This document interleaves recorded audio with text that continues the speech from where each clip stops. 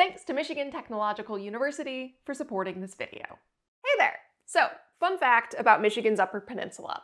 It is about 10.5 million acres, and about 85% of that land is forest. That means a couple of things. One, it is unreasonably beautiful here, and two, logging is a significant local industry, which made me feel a little squirmy when I first moved here. I mean, trees are great. They help clean the air and water, they make oxygen, they provide food and shelter, and they also absorb and store carbon dioxide, making them a big deal for the climate. So it hurt my heart a little to see trucks hauling them off on what felt like a near daily basis. Now, I'm old enough to know there's nuance to this, right? There's a big difference between razing a section of land for a strip mall and harvesting some trees while leaving the rest. And the latter is usually what happens up here. But I still wondered what this sort of sustainable logging really looks like, and how you even figure out what a forest has to give. Well, while working on another video, I happened to meet someone who could speak into that. Michigan Tech's Dr. Mark Rudnicki. Besides being a professor, he's also the director of the Ford Center and Forest, where I filmed my video about Alberta last spring. And to get answers to all of my questions about forestry, he sent me to camp. So this is the deal with sustainable forestry, and also the fascinating things people are doing with some of those trees. I'm talking stuff like turning wood chips into cancer medicine. It's story time. In an earlier video, I told the story of Alberta, Michigan, a company town designed by Henry Ford. At the end of that video, I mentioned that today, Alberta is mostly a place for research and education, and that students come here to learn about forestry, wildlife ecology, and more. That is fall camp, or summer camp, depending on when you go. So I'm currently studying uh, forestry here at Michigan Tech. I'm doing wildlife, applied ecology, and environmental science. Forestry and minoring in forestry and business. Applied ecology with a concentration in communication and then a minor in sustainability and society. A lot of our classes are all combined. There's a couple that the foresters are separate from the ecology and wildlife, but most of them are all one class, which is nice because you never get to see those people normally. The thing that I like about here more so than like regular school and stuff is like here, all the students, well, I mean, we're playing bags right now. Which is what's really nice is like to be able to like have lecture in the morning, go out and do something, and then basically it's all like, oh, learn about something, go do something, and then talk about what we just did. And I find it's like a lot better of a learning environment. Students from different majors come here for an entire semester and learn together what it takes to care for a forest. The day I went, they were removing invasive species, checking for harmful fungi, and learning about pest management. But I also heard stories about wildlife and mapping and water-related studies. And really, that became my first lesson, that when experts are deciding what to do with the section of forest, whether they want to harvest some trees or build some ATV trails, they're not just thinking about the trees. Instead, it's a team of experts, some who specialize in wildlife, others who are into fungi, and sure, plenty of people who know a lot about plants. It's nice to like interact with these uh, different majors because they definitely have like different views. Like the other day we were in here doing a, uh, a project. I was like the only forester in my group. I was like, we should cut down this tree, this tree, and this tree because we were just like marking trees to hypothetically cut down. And some of my group mates who were wildlife people, they were like, oh, we should actually leave those ones for the habitat. I didn't even think about that. I love There's that. so many different perspectives. And yeah. so we talk about that a lot in class where, oh, what would foresters think about this? What would a wildlife, and how do we support everybody, but also get our management goals done. Yeah, it's like you really learn how to compromise with people who have like different management plans than you. This is what it means to be to go like into forestry, like knowing all of it, and it's not just clear cut, make a wall. Yeah, you're knowing, you're understanding the big picture. Yes. So if you are taking down trees, like you know what effect that's having and you know what you're doing. With these students, I was talking a lot of big picture stuff because forestry is a huge, very nuanced field and I was just trying to get a bird's eye view of the whole thing. But to give you a sense of how specific these conversations can get, when I was talking to Dr. Rudnicki off camera, we talked about things like how trees get grouped by their diameter class, and that when making a harvest plan, you should try and maintain a certain number of each size. We also talked about how foresters are ideally planning at least 30 to 40 years ahead, meaning many won't see the results of their work. In fact, foresters are taught to think and plan on scales even longer than an average human lifetime. So there's a lot going on here. In any case, back at fall camp, I was busy getting humbled by the next generation of forestry and ecology experts. At some point, I fell behind because I was admiring this section of forest with these straight, beautiful trees. Wow, I thought, it's, it's so cool that they just grow this way. They don't just grow this way. If you're like, okay, I have this section of forest and I want to cut down some trees for timber, how do you even approach which trees to cut down? And Yeah. yeah, how do you?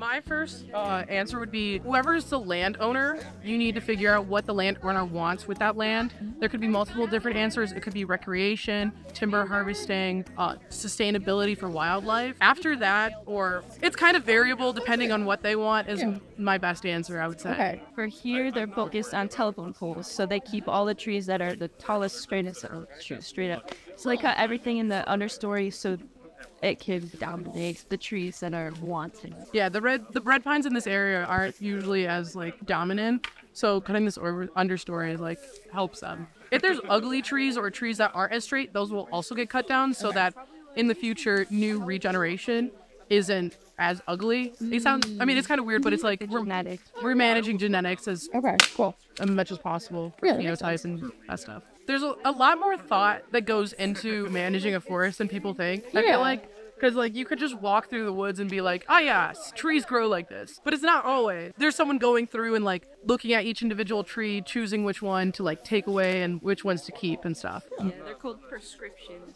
Yeah. Fancy, fancy word. And there's a lot of like tools, techniques, and it's very like site dependent, cover type dependent. Like what's here, what do we want? It's a lot of like problem solving. And me and a couple other students, we always joke it's just like every answer in silviculture is just like it depends. These conversations taught me that there's no single right way to steward a forest or figure out which trees to cut down if that's your goal. Instead, it's a series of questions and compromises based on science and experience and the exact patch of land you're working with. And these students spend an entire semester immersed in these kinds of complicated decisions and trade offs. But while I was at Tech, I also learned about a different kind of work that I think is even cooler. I learned that students aren't just being taught how to steward forests. Over on the main campus in Houghton, they're also developing new ways to use every part of a tree after it's been cut down, and sometimes in surprising ways. This is Nicole. She's been researching how to take wood that might normally be scrapped and turn it into materials strong enough to make 20 story buildings. It's called cross laminated timber.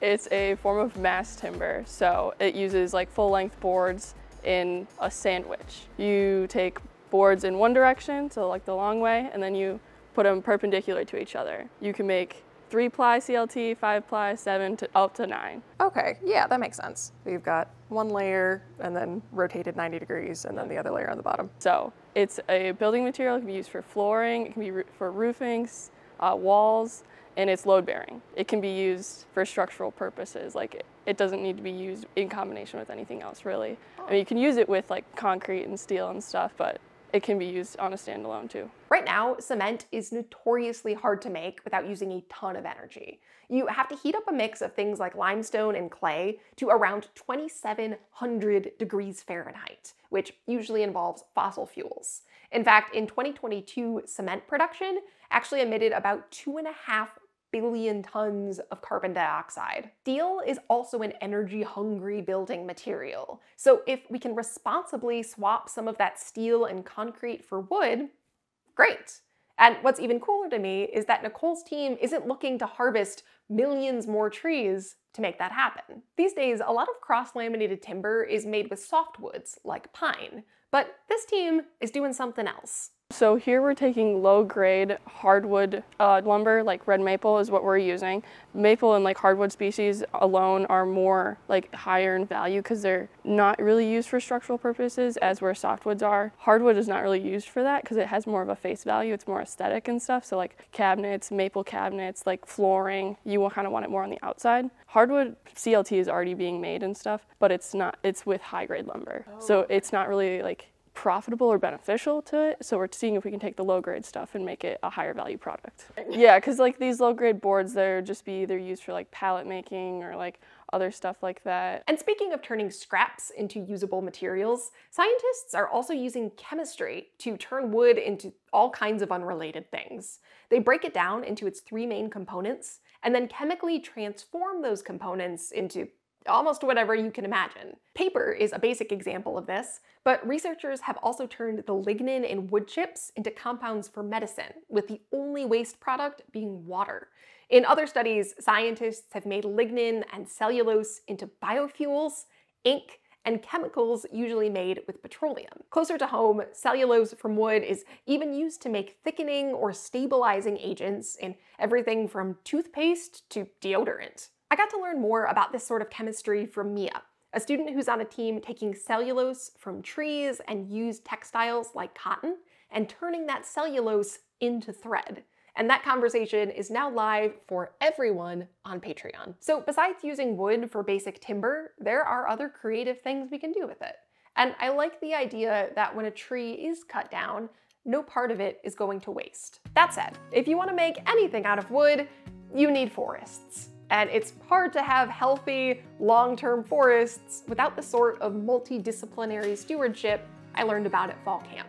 So Big shout out to the tech students for all the work they're putting in in those fields. And of course, forests aren't just like resource machines either. The health of our forests is linked to the health of our planet and our quality of life. They come with beauty and recreation opportunities and so much more.